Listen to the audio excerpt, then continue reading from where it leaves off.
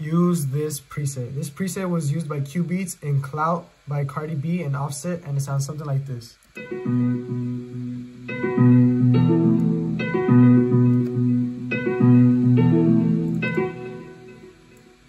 So the library is is Alicia Keys is for Kontakt, and um, these are the settings.